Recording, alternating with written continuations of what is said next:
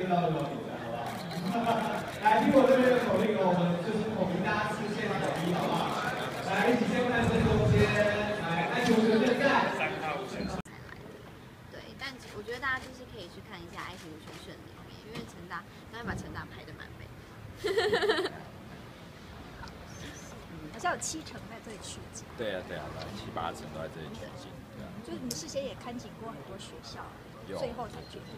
对啊，因为成大真的它的格局真的是蛮大的，那加上它从日据时代就有的学校嘛，所以刚好跟我们学校，我们电影里面有一个有一个主题很关联，这样就是它是一个日，对，它有一个巨湖传说，然后历史很悠久，从呃国民政府撤退来台，然后我觉得成大还蛮符合这样的一个形象。